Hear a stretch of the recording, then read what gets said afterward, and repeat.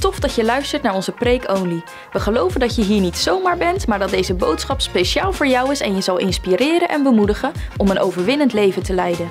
Connect met ons op de socials, Instagram, Facebook en YouTube. En wil je met ons in contact komen? Stuur dan een mail naar info.lsm.nl. We gaan door naar het woord. You're blessed and enjoy.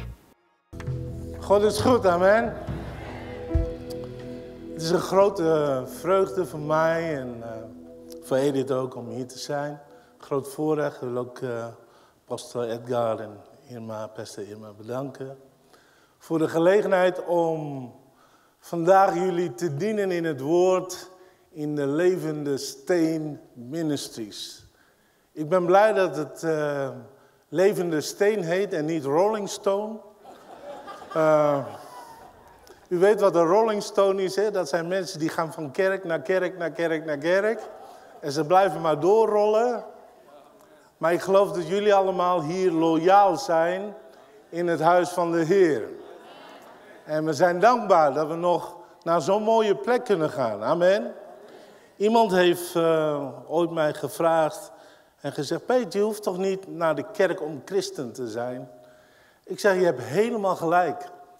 Je hoeft ook niet naar huis te gaan om getrouwd te zijn. Maar hoe, lang je, hoe langer je wegblijft, hoe meer dat jouw invloed met jouw vrouw en jouw kinderen zal, de relatie zal beïnvloeden. En hetzelfde is waar voor ons. God heeft ons geroepen tot een lichaam. En een lichaam bestaat niet alleen uit een oor of uit een oog. We hebben elkaar nodig, lieve mensen. Vooral in deze tijd. Nou, ik kan beginnen door te zeggen: vrees niet. Want uh, ik heb geen ingewikkelde theologische preek voor jullie voorbereid. Ik ben te simpel daarvoor. En mijn gebed, mijn, mijn gebed is ook dat uh, uw geloof niet zal rusten op uh, meeslepende woorden, maar op de kracht van God. En als er iets is wat wij nodig hebben in deze tijd, dan is het wel de kracht van God. Amen. En uh, ik had onlangs in de Bijbel nog gelezen dat uh, de grote apostel Paulus werd bemoedigd door de komst van kleine Titus. En vandaag wil ik gewoon jullie kleine Titus zijn. Om jullie te bemoedigen in het woord. En ik, uh, ik heb het zo op mijn hart om te spreken over hoe wij in een bovennatuurlijke vrede van God kunnen wandelen. Want het maakt niet uit hoe het stormt aan de buitenkant. Gods bovennatuurlijke vrede is altijd aan de binnenkant. Dus dat wil de Heer, denk ik, deze ochtend aan een ieder meegeven. Laten we eens bidden. Vader in de hemel, ik wil vragen, Heer, of u het woord wilt zegenen. Wilt u mijn menselijke woorden compenseren met de zalving van de Heilige Geest. Zodat mensen niet mij horen, maar wat de Geest tot de gemeente zegt. Wilt u onze harten sterken en ons geloof opbouwen door het woord in Jezus' naam. Amen. Volgens uh, de Trimbos uh, Instituut zijn er vandaag aan de dag 1,3 miljoen mensen die lijden aan spanning, aan stress, aan overspannenheid. En het kost de staat ongeveer 3,9 miljard aan kosten. Volgens Agis Verzekeringen, ik weet niet wie hier via Agis Verzekeringen verzekerd is, hebben 9 op de 10 mensen last van burn-out, overspannenheid, drukte en dat soort dingen nog meer. En de oorzaak zou kunnen zijn financiële zorgen of, of uh, spanning in je huwelijk, spanning in jouw gezin, spanning in op het werk. Maar ik denk dat de Bijbel net even iets dieper gaat dan alleen de uiterlijke omstandigheden. Want ik heb gemerkt dat mensen kunnen op Hawaii op de beach liggen en toch nog overspannen zijn.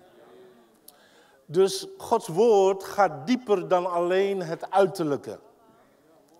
Hij wil ons, onze ziel afstemmen, zodat wij de bovennatuurlijke vrede van God kunnen grijpen. Ik hoor altijd apostel Holder spreken over lambano. Je moet het toe-eigenen. En dat is iets wat wij als christen echt moeten leren. Dat wat God ons gegeven heeft, moeten wij toe-eigenen. Want Gods wil gebeurt niet automatisch. Het komt tot ons door geloof. En wij moeten leren niet af te wachten, maar het toe te eigenen. En een van de dingen die wij kunnen toe-eigenen, lieve mensen, is de bovennatuurlijke vrede van God. Ik durf zelfs te zeggen dat als ik vandaag niet Gods bovennatuurlijke vrede zou ervaren, dan zou ik denk ik geen voorganger willen zijn.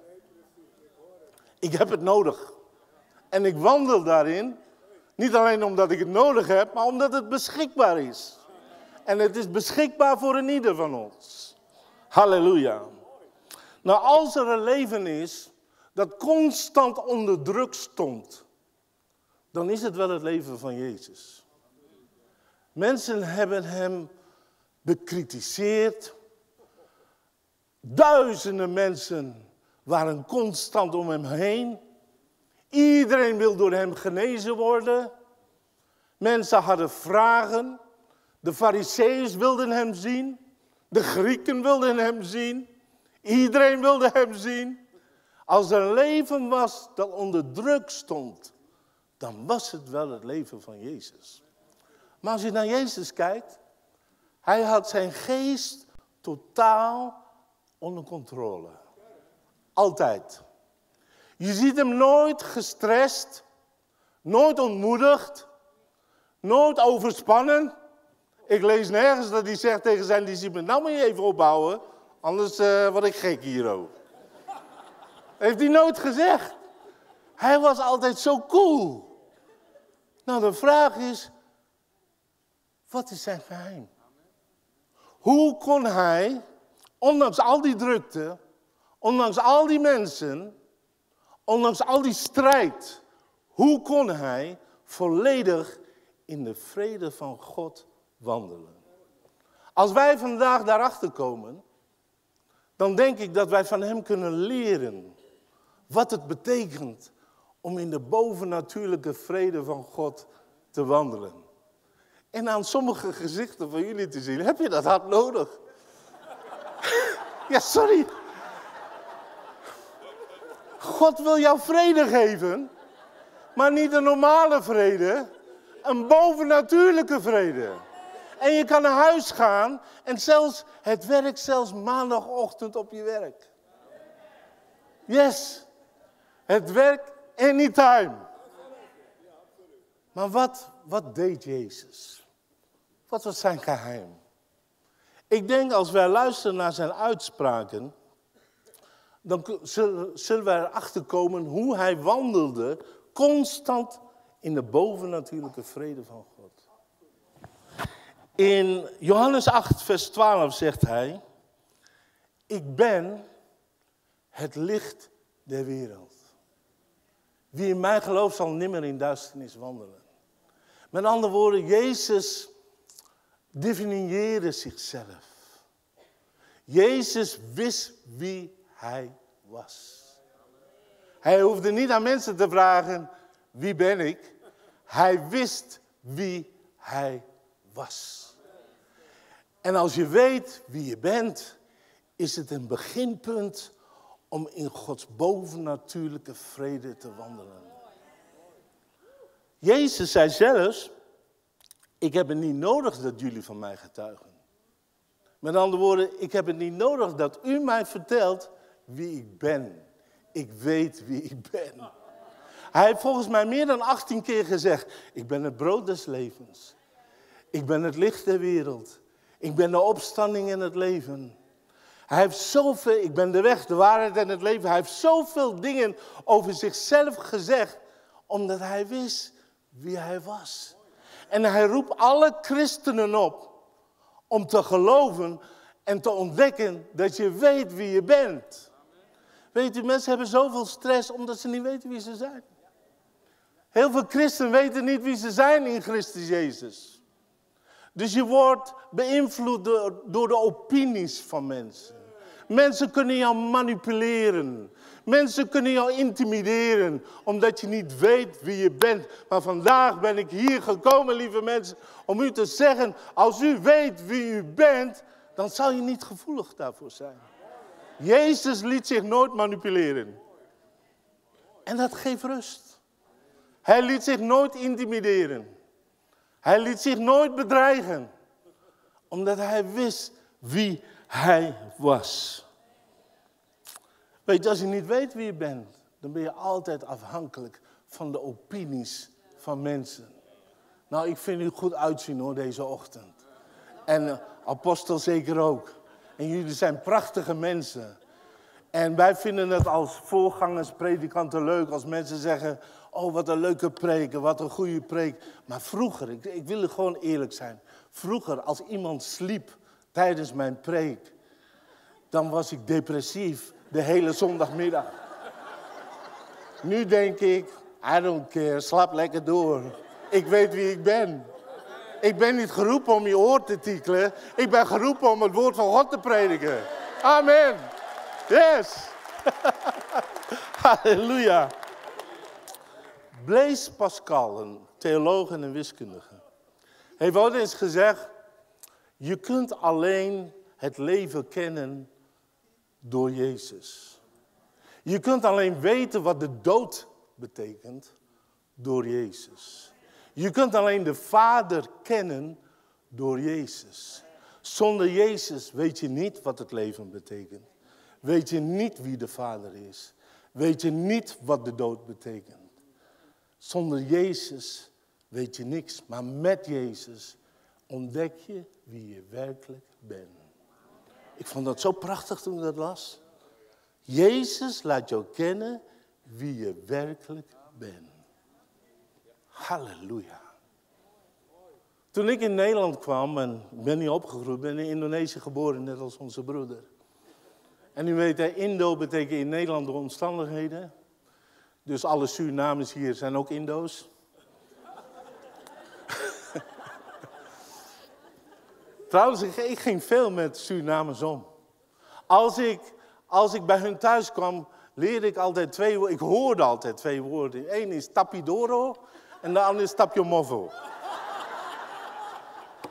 en dat is wat ik nu zeg tegen de duivel. Tapidoro en tapiomovo.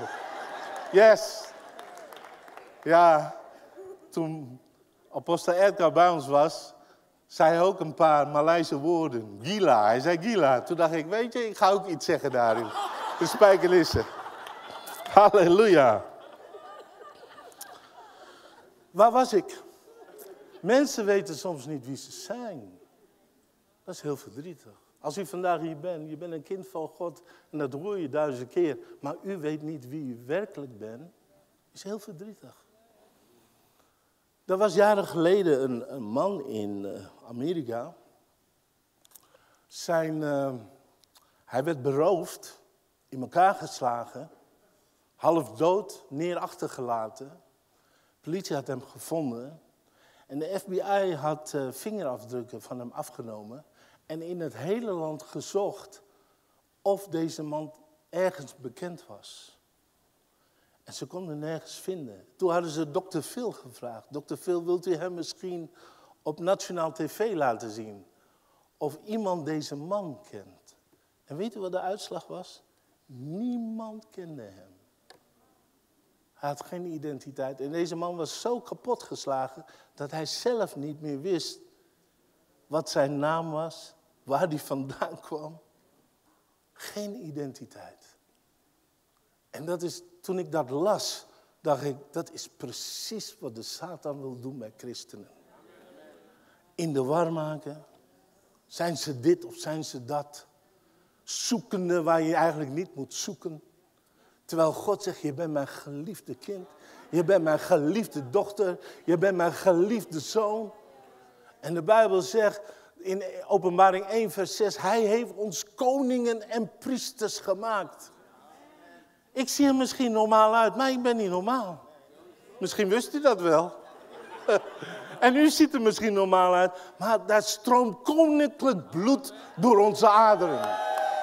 Wist eerlijk gezegd, wij zijn meer van adel dan koning Willem-Alexander. Want uh, hij stamt af van Beatrix. Wij stammen af van Jezus Christus, de Heere Heere. En de Bijbel noemt ons koningen en priesters. Dat betekent dat wij autoriteit hebben. Dat betekent dat wij gezag hebben. En de duivel wil ons laten geloven dat wij niet zijn. En daarom moeten we nooit zeggen als christen, ik ben slechts een worm, ik ben slechts dit of dat. Wij zijn kinderen Gods en wij moeten de volle gestalte in Christus aannemen en de duivel wederstaan en hij zal van je vlieden. Dat is jouw identiteit. Je moet weten wie je bent. En niet alleen moet je weten wie je bent, je moet ook weten in jouw leven wie je wilt behagen. Sommige mensen, ik ken christenen die zitten niet in deze kerk hoor. Ook niet in Deventer, want sommigen kijken mee. maar sommige christenen, die zijn helemaal van slag wanneer ze geen duimpje krijgen op Facebook. Helemaal overstuur. Wanneer iemand anoniem een e-mail stuurt en zegt, ik mag jou niet. Helemaal van slag. Weet u waarom? Als je niet leert eerst God te behagen, dan ben je geneigd om constant mensen een plezier te doen. Ik ga u wat vertellen en ik hoop dat u mij vergeeft. Maar Jezus kwam niet om mensen een plezier te doen. Jezus kwam om de Vader te behagen. Dat wij daarvan kunnen genieten, is vers 2. Maar hij zegt, ik ben gekomen om de wil van de Vader te doen. En mijn oordeel is rechtvaardig, zegt hij, omdat ik de wil van de Vader wil doen. En een andere, de, de uh, King James vertaling zegt, ik ben gekomen, ik probeer niet mensen te behagen, maar hem die mij gezonden heeft. Oh, lieve mensen. Je hebt hier drie groepen. Hè? Stel dat apostel Edgar jullie wil behagen. Dan wordt deze groep boos. Stel dat apostel Edgar deze groep wil behagen. Dan wordt deze groep boos. Het is onmogelijk om te wandelen in de bovennatuurlijke vrede van God als je alleen maar mensen wil behagen.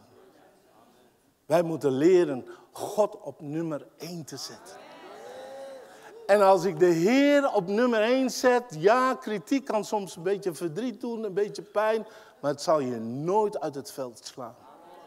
Het zal jou nooit dusdanig ontmoedigen dat je God niet meer wil dienen. Want je dient de Heer omdat je van Hem houdt. Je dient de Heer niet voor een bediening. Mensen zoeken een bediening. Jezus zoekt dienaars.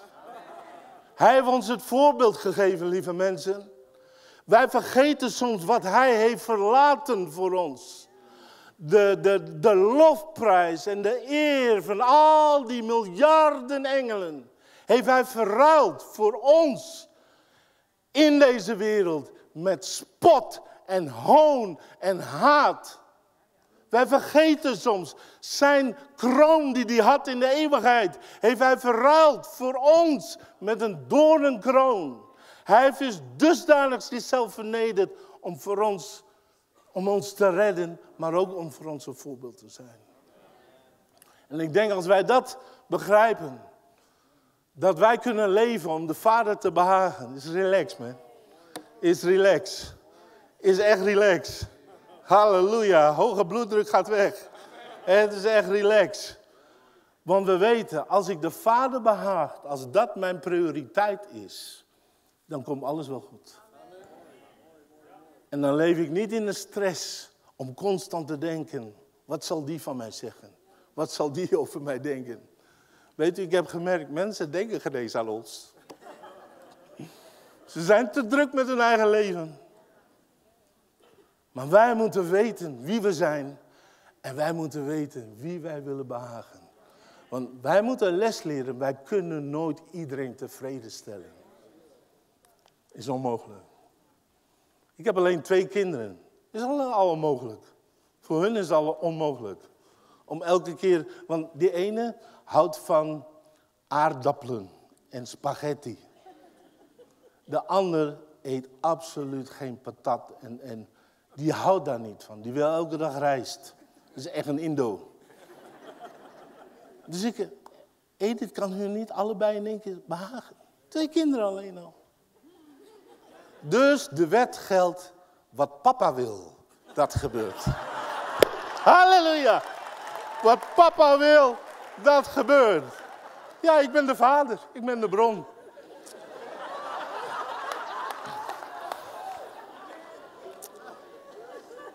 Hoe ga je om met oneerlijke kritiek? Ik denk net zoals Jezus. Hij wist wie hij wil behagen. Weet u, misschien heeft apostel Edgar dat ook wel eens meegemaakt. Er kwam een keer een echtpaar naar mij toe, naar de dienst. En die zei, Peter, we gaan de kerk verlaten. Ik zeg, oh, oké. Waarom dan? Zei, ja, jij predikt altijd droog brood. Wij willen vlees. Mausvlees. Net zoals, uh, en dan noemen ze gastsprekers op, net zoals die en die. Maar van jou, Peter, is het droog brood. Dat is jaren geleden, hè? En toen, was ik, was ik, toen ik dat hoorde, was ik aardig, uh, niet overweldig, maar onderweldig. U begrijpt wat ik bedoel? Ik was aardig, uh, ja, best wel van slag. Droog brood. Maar als u nu naar mij zou komen, na de dienst, en zeggen, droog brood, dan zou ik zeggen, doe er zelf beslag op. Ga, ga dat zelf een beetje, muisjes of ham of... Doe er zelf beslag op. Ik weet wie ik ben. Iemand zei ooit eens aan mij, waarom predik je niet het hele raadsbesluit van God? Ik weet niet het hele raadsbesluit van God. Ik ben te simpel. Ik weet alleen één ding. Jezus houdt van jou. Jezus wil jou genezen. Jezus heeft jouw zonde gedragen. Dat is genoeg. Halleluja.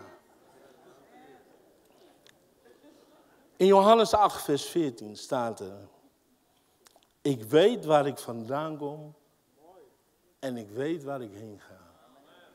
Jezus was, oh, ik, ik hoop dat het, dat het muntje valt. U bent hier niet per toeval. U bent niet alleen geboren om te werken of te studeren. U bent geboren om Gods wil uit te voeren, zolang u leeft. En Jezus zei, ik weet precies waarvoor ik geboren ben. Ik weet waar ik vandaan kom. En ik weet waar ik naartoe ga. Met andere woorden, ik weet mijn bestemming. Ik weet mijn roeping. Ik laat mij niet aan alle kanten uitdrukken en ik ga dit doen en dat doen en dat doen en dat doen. Nee, ik weet mijn focus. Ik weet waartoe ik geroepen ben. En willen wij in de vrede van God wandelen, moeten wij Gods wil zoeken. En dat gewoon uitwerken. Daar staat in 2, Efeze 2, door genade zijt gij behouden en niet door werken. Velen zetten daar een punt. Maar daar staat verder, om, wij zijn zijn maaksels, om in zijn werken te wandelen die hij tevoren al voor ons heeft bestemd. Dus God heeft werken voor jou. God heeft een plan met jouw leven. Vroeger toen ik, toen ik, weet je, toen ik pas christen was, kon ik niet geloven dat die almachtige grote God een plan had met mijn leven. Ik kon dat niet geloven. Totdat een vrouw op straat gewoon profeteerde. Jij bent net ontslagen, Surinaamse vrouw. Jij bent net ontslagen, maar jij gaat later in Gods arbeidsveld werken. En ik had daar gehuild als een klein kind, omdat ik, wauw, hoe weet zij dat één? En ten tweede, heeft God een plan met mij? En ik denk dat veel mensen soms zo denken. Ja, God heeft een plan met apostel Edgar en met de oudsten. En met de leiders, campusleiders. Maar God heeft ook een plan met jouw leven. En zijn plan is niet van onheil, maar van vrede om u een hoopvolle toekomst te geven. Wij moeten dat weten, lieve mensen. God heeft jouw leven in zijn hand. En wij zongen altijd vroeger oud Pinksterlied, Gods weg is de beste. Het is echt de beste. Het is echt de beste. Halleluja. Dus wij moeten leren om prioriteiten te stellen. Prioriteit nummer één. Ik ga God behagen. Ik ga Gods woord lezen en kijken en ontdekken. Wat behaagt de Heer? Hij houdt van iedereen, maar niet, niet iedereen behaagt hem. Behagen betekent zijn wil doen. Dat je hem een welgevallen bent. Als je van Jezus houdt, dan wil je hem toch een welgevallen zijn. Ik bedoel, mijn vrouw, ja, is misschien niet de juiste illustratie, maar mijn vrouw houdt van mij. Want ik beveel haar dat te doen. Nee, sorry. mijn vrouw houdt, maar ik zie gewoon aan alles wat ze doet. Ze probeert mij te behagen. En ik probeer haar te behagen. En soms komen we niet uit omdat we elkaar willen behagen. En wil zij niet zeggen wat zij wil en ik wil niet zeggen wat ik wil. Maar dat is mooi. Ik wil niet altijd mijn wil. En vooral in een restaurant wordt het soms moeilijk. Zeg, wat wil jij dan eten? Nee, wat wil jij dan eten? En dan wacht die ober al. Hè. Ja, hallo, maak even, schiet even snel op. oh, I love you, darling. Maar je moet weten wat je bestemming is. Ik wil vragen of uh, de muzikanten alvast naar voren willen komen. Ik wil met jullie bidden. Het is een kort woord misschien, maar ik wil ook jullie bedienen in, in zoals de Heer dat wil. En ik geloof dat God een werk wil doen deze morgen. Niet alleen dat je een woord hoort, maar met demonstratie van geest en kracht. En Jezus is hier in ons midden. Waar twee of drie vergaderd zijn, Hij is hier in ons midden. En Hij kijkt echt niet werkeloos toe. Want Hij weet hoe sommigen leven. Niet oordelend zeg ik dit, maar gewoon dat je in die stress, in die drukte, in die spanning constant leeft. God wil je vandaag zijn bovennatuurlijke rust geven. God wil jouw ziel dusdanig afstemmen op de niveau en de stemming van de Heilige Geest. Zodat je als een ander mens gewoon naar huis gaat. Relax. De Heer is met jou. De vrede van. Weet je wat zo bijzonder is? Dat er staat: de God des vredes zal de kop van de Satan onder uw voeten vermorselen. Hij zou kunnen zeggen: de God van oorlog. Nee, vrede. Want vrede is het bewijs dat je de overwinning hebt. Jezus is de vredevorst. Halleluja.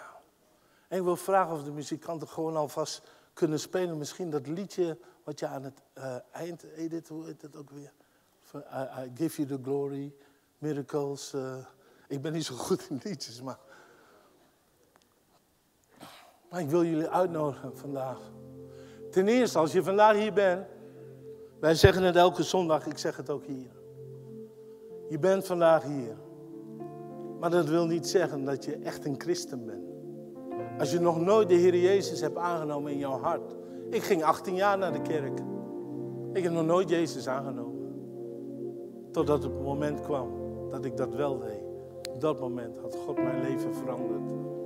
Dus als je vandaag hier bent en zegt, Peet, ik ken Jezus eigenlijk niet. Ik, ik ga naar de kerk, maar ik heb hem nog nooit aangenomen als mijn persoonlijke redder en verlosser dan kan je dat vandaag doen.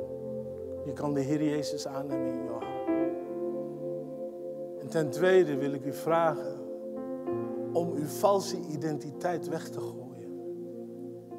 Toen Jezus naar Jericho ging, een stad dat vervloekt is volgens het Oude Testament, was daar een bedelaar. Zijn naam is Bartimaeus, de zoon van Timaeus. Misschien had hij wel een identiteit, maar alleen als zoon van Timaeus. En hij, Jezus kwam langs hem en liep gewoon door. Kun je je voorstellen? De zoon van Timaeus riep uit naar de zoon van David. Zoon van David, heb medelijden met mij. En de kerkmensen, Jezus, kom langs, je moet hem niet storen. Maar hij bleef het uitriepen. Hij bleef het uitroepen.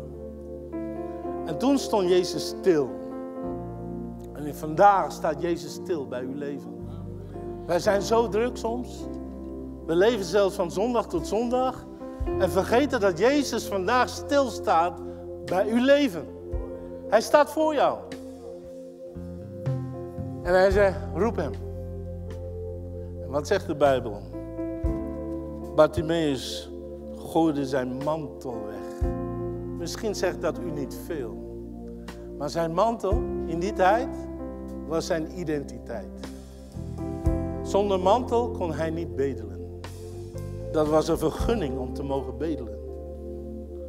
En zoveel christenen hebben een bedelaarsmantel in plaats van een toe-eigensmantel. Maar de Bijbel zegt, hij gooide die mantel weg en ging richting Jezus. Blind als een vleermuis.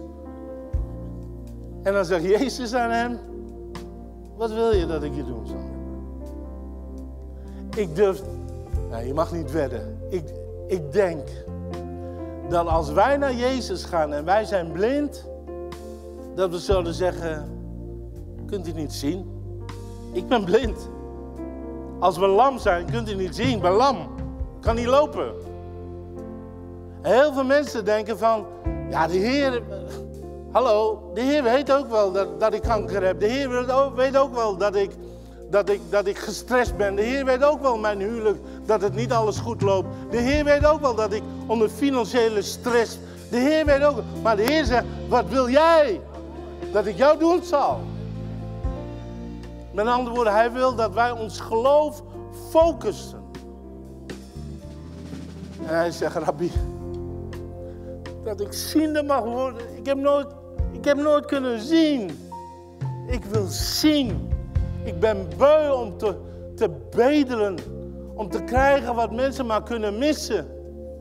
Ik wil zien. Wilt u ook zien deze morgen? Wilt u ook wandelen in de bovennatuurlijke vrede van God? Focus jouw geloof. En durf aan de Heer te vragen wat jij nodig hebt. Ga niet bidden, Heer. Ja, ik heb dit nodig. Als u wil geven is goed. Als u niet wil geven is ook goed. Dat is geen geloof. Geloof is gefocust. Geloof gaat ervoor. Geloof eigen naartoe. Laten we gaan staan. Wij, dit is het huis van God. Wij gaan bidden met elkaar. U hoeft niet te schreeuwen, maar ik wil vragen dat u gewoon, God heeft jou een mond gegeven. Bidden betekent spreken tot God. Niet mediteren, spreken. En ik wil vragen of jullie voor elkaar, met elkaar willen bidden. Dat wij met z'n allen naar huis kunnen gaan en wandelen in de bovennatuurlijke vrede van God. Laat dat het eerste zijn. En kijken wat de Heilige Geest gaat doen. Oké? Kom, laten we bidden. Vader in de hemel, ik dank u dat wij kinderen God zijn. Ik dank u dat we autoriteit hebben. Ik dank u dat we gezag hebben. En in dit uur van gebed mogen uitoefenen over deze gemeente. Heer, wij verbreken elke duistere macht van depressie, van stress, van ontmoediging, van teleurstelling. In de naam van Jezus. Wij verbreken elke duistere macht van ziekten in de naam van Jezus. En wij gebieden het te wijken van uw volk. Laat Gods volk los in Jezus' naam. In Jezus' naam. Dank u wel, Heer, dat u aan het werk bent. Dat u een grote God bent. En dat wij bovennatuurlijke vrede mogen ontvangen. Heb je handen omhoog en ontvang de bovennatuurlijke vrede van de Heer. Ontvang het en wandel daarin. Wandel daarin. Zondag, maandag, dinsdag, woensdag, donderdag, vrijdag, zaterdag, zondag. Wandel daarin. Van nu aan totdat Jezus komt. Wandel gewoon daarin. Wandel in die zegen van God. Halleluja. Halleluja. Wat leuk dat je hebt geluisterd naar deze boodschap. We vertrouwen dat het je heeft geïnspireerd om in constant contact met de Heilige Geest te leven en om te wandelen in de volle blessing. Voor meer info over onze ministry kun je gaan naar lsm.nl of ga naar lsm.nl/locaties en vind een van onze campussen. Tot de volgende keer.